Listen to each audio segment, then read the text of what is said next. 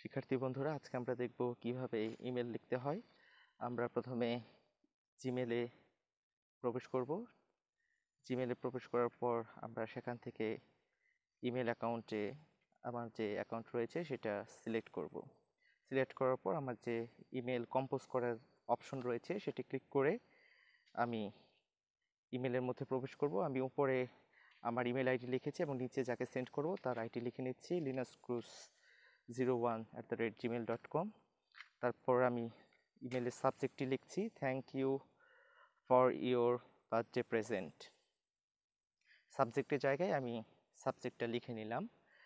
এরপর নিচে দেখতে পাচ্ছি কম্পোজ ইমেল এই জায়গায় আমি লেটারের মতো করে ইমেলটি লিখব। মাই ডিয়ার লিনাস যেভাবে আমরা লেটার লিখি, ঠিক সেভাবেই আমরা ইমেল লিখব। Take my love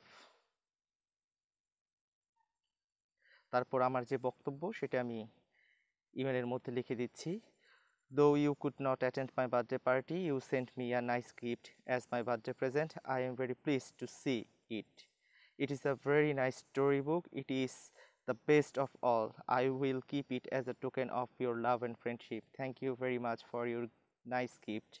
Visit us when you get time. Thanking you, Rodro. আমরা ঠিক যেভাবে লেটার লিখি একই রকমভাবে আমরা ইমেলটি লিখব এরপর যেভাবে আমরা মেসেজ সেন্ড করি, সেভাবে ইমেলও আমরা সেন্ড করে দেব।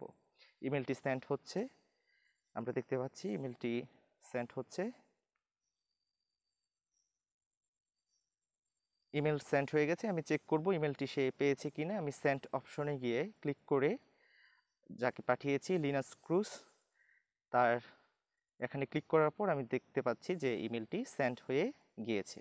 এই তো তোমরা দেখতে পাচ্ছ, তোমাদের ঠিক বইয়ে যেভাবে লেখা আছে, একই রকম আমি তাকে ইমেল সেন্ড করেছি। প্রিয় শিক্ষার্থী বন্ধুরা, তোমরা নিশ্চয়ই বুঝতে পারছ লেটার এবং ইমেলের মধ্যে তেমন কোনো পার্থক্য নেই। লেটার আমরা কাগজে, কলমে লিখি ইমেল আমরা মোবাইল কিংবা ল্যাপটপের মাধ্যমে ইন্টারনেটে পাঠাই। ধন্যবাদ।